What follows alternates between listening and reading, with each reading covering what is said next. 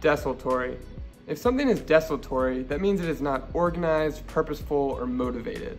Random, unconnected occurrences can be desultory, as can things that tend to wander without a real through line. Example 1. The speaker wandered from topic to topic seemingly at random in his desultory speech. Example 2.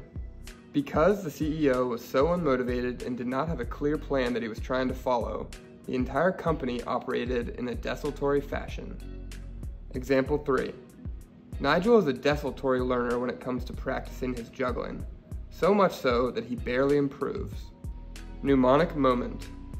No one was interested in the story because the storyteller was so rambling and unfocused. Because he was so desultory, it was a dead story. If you like that word and you want to remember it, you should try practicing with it. You could use one of my examples, or you could make up an example that is like funny or interesting or memorable to you in some way.